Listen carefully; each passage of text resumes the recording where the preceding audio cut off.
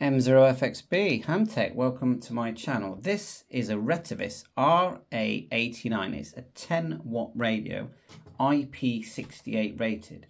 And it has, I think it has quite good reviews. So I thought I'll test the power. So we're on 70 centimeters here. And you can see here, number four says power. So we're going to go F, Menu. four. Power. The power is high. Box level. Power. Enter. Go mid, low, okay? We'll test all three. Enter. Enter, back out. So 434500, high power, it says high there. Let's key the mic. Now look here, it will show the frequency and, try and get them closer, and the power. So I don't know how accurate it is. I've got a dummy load on this. I will try it with an antenna. I've got a dummy load at the moment. And we're just going to key the mic and it will also show you the frequency. So look here where it says 7 watts. And you can see the frequency will show when I key. So here goes. M0XB test, test, test. And again, we're, we're doing about 7 watts. Um, and it should show the frequency. Yeah, 434550. Okay. Now we'll get it to low power and then I'll connect a, a different antenna. Well, let's check all the power. So we'll go F4, F again, medium, Enter. and then key. Escape.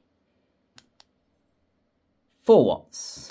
Okay, let's go down to the next one down. F4, Box level. Power. Enter. F. Okay.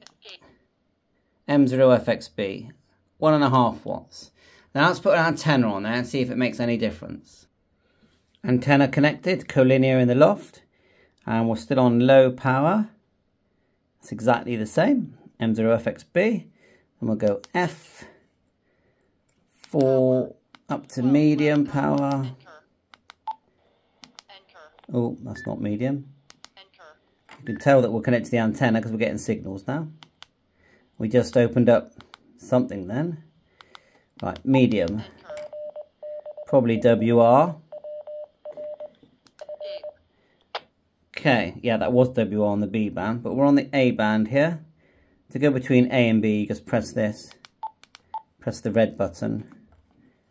And to go between VFO and memory, you just briefly press the hash. Memory, VFO. So let's just quickly key on 77s and we're on high power. No, we're on medium power. Just under 4 watts. And then we'll go menu, 4, 12. Power. F again, then up to high power. Enter. then we'll escape with the PTT and then we'll go on 70 sems. Nearly 7 watts so it's exactly, exactly the same result I would say. Let's go down to 2 meters.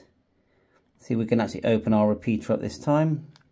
M0FXB calling for a test M0FXB that is near 10 watts that that was near 10 watts. So I, I got, I'm going to have to say, with all the cables I've got and the loss and all that, that that was 10 a 10 watt connection. You know, 9.10 to me that's near enough.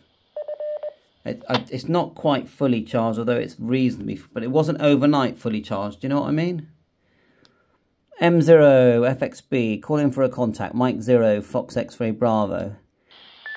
That SWR doesn't look too good, though, does it? So there's another thing. wonder why the SWR is so bad. Normally quite good on that antenna. And that says a lot as well, bad SWR. So for me, it's a win. It's a 10 watt radio. Bye for now and thanks for watching Retevis RA89 73. All the best.